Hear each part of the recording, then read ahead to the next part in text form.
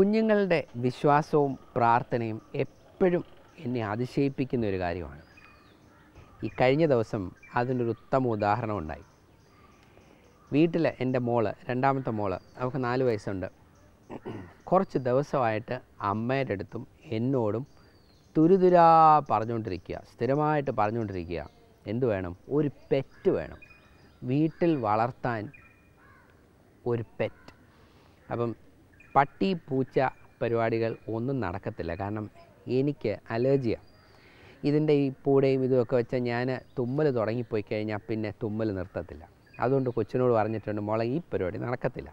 പപ്പായ്ക്ക് ആകെപ്പാടെ പ്രശ്നമാണ് ഇനിയിപ്പോൾ എന്ത് ചെയ്യും? അപ്പോൾ അവൾ അടുത്ത് ഏറ്റുപിടിച്ചു മീൻ വേണം.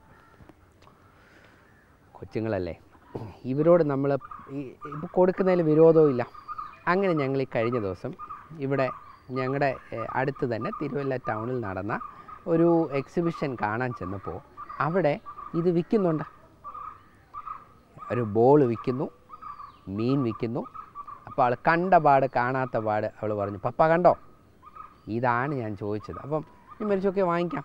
അപ്പം ഞങ്ങളുടെ നെയ്ബർ ഞാൻ ഈ കാര്യത്തിന് പോകുന്നു എന്ന് അറിഞ്ഞിട്ട് പറഞ്ഞു ഞങ്ങൾക്കും ഒരു രണ്ട് കൊച്ചു ഗോൾഡ് ഫിഷിനെ വാങ്ങിച്ചുകൊണ്ട് വരണമെന്ന് പറഞ്ഞു. അപ്പോൾ ഞാൻ തീരുമാനിച്ചു അങ്ങനെയാണെങ്കിൽ നാലെണ്ണം വാങ്ങിക്കാം. അങ്ങനെ ചെന്നു. അവിടെ നിന്ന് അതിനുള്ള ബോൾ വാങ്ങിച്ചു.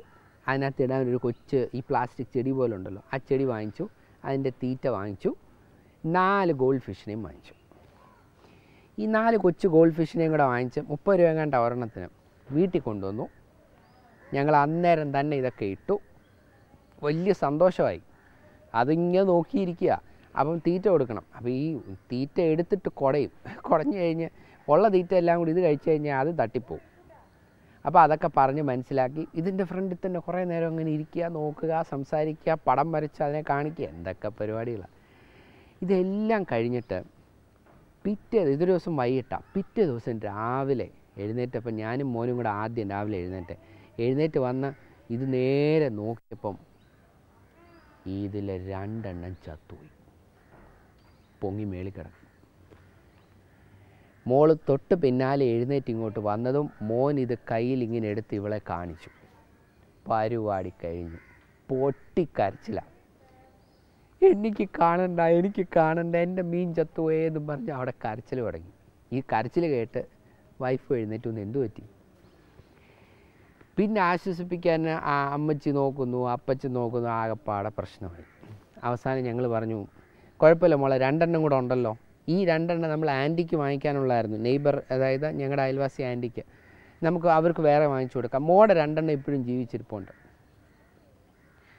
അപ്പോൾ അടുത്ത ചോദ്യം. ഇത് ചത്തുവോ? നമ്മളെന്തോ പറയും. സാധാരണ ഗോൾഡ് ഫിഷൊക്കെ എങ്ങനെയൊക്കെ പോയാലും കുറച്ച് കഴിഞ്ഞ് ചാവും. നമുക്കറിയാം. പക്ഷെ അവൾ ഇപ്പം അപ്പച്ചൻ ഈ മീനിന് വേണ്ടി പ്രാർത്ഥിക്കണം. അപ്പച്ചൻ ഈ മീൻ വേണ്ടി പ്രാർത്ഥിക്കണം. ആ ഈ മീൻ ചാവാതിരിക്കാൻ പ്രാർത്ഥിക്കണം.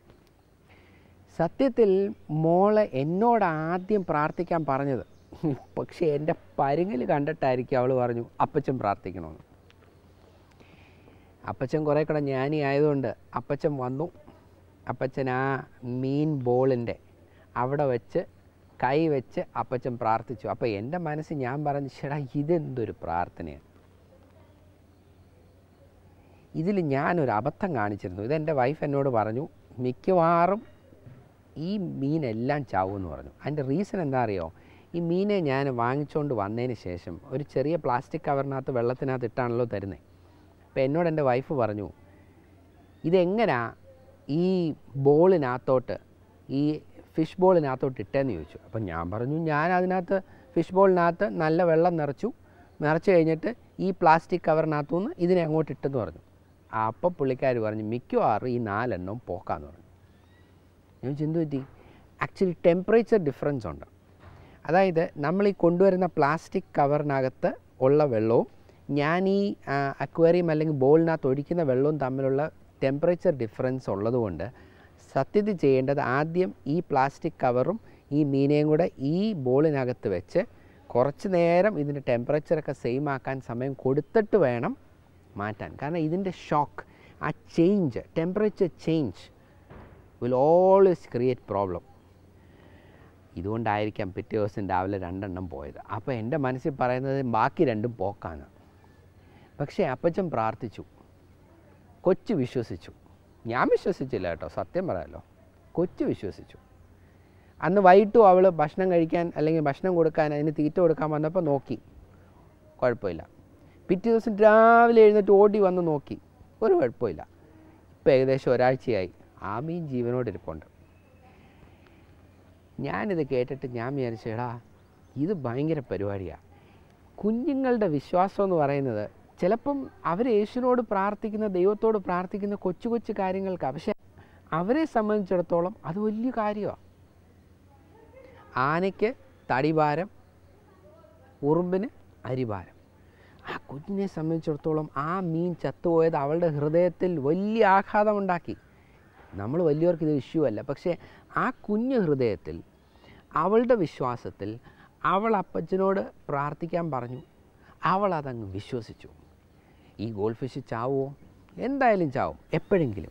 പക്ഷേ അറ്റ്ലീസ്റ്റ് അത്രയും കൂടെ ദിവസം അത് നീണ്ടിരുന്നു. അത് ജീവിച്ചിരുന്നു. യേശു പറഞ്ഞൊരു കാര്യമുണ്ട്. തിരിഞ്ഞ് നിങ്ങൾ ഈ കുഞ്ഞുങ്ങളെ പോലെ ആകുക. ഇതൊക്കെ എന്നോട് പറഞ്ഞതായിട്ടാണ് അല്ലെങ്കിൽ എന്നെപ്പോലുള്ളവരോട് പറഞ്ഞതായിട്ടാണ് എനിക്കിപ്പോൾ തോന്നുന്നത്. നമ്മളൊക്കെ ഒരുപാട് വിദ്യാഭ്യാസവും പഠിത്തവും ഒക്കെ കഴിയുമ്പോഴത്തേക്ക് നമ്മുടെ വിശ്വാസവും നമ്മുടെ ആ ഇതുമൊക്കെ കുറയുന്നെന്നാണ് എനിക്ക് തോന്നുന്നത്. പക്ഷേ നിർമ്മലത വളരെ സിമ്പിൾ ഫെയ്ത്ത് ഇതിനു വേണ്ടി പോലും യേശു യേശുവിനോട് പ്രാർത്ഥിച്ചാൽ യേശു കേൾക്കും. എന്നെ കേൾക്കുന്ന എന്റെ പ്രിയ സ്നേഹിത കടിച്ചാൽ പൊട്ടാത്ത വലിയ ആഴമായ കാര്യമൊന്നുമല്ല വിശ്വാസമെന്ന് പറയുന്നത്. ഹൃദയത്തിൽ സംശയമില്ലാതെ ദൈവത്തോട് യാചിക്കുന്ന കാര്യം കിട്ടുമെന്ന് വിശ്വസിക്കുക. ഇത് തന്നെ. കണ്ണുകളെ അടയ്ക്കാം നമുക്ക് പ്രാർത്ഥിക്കാം.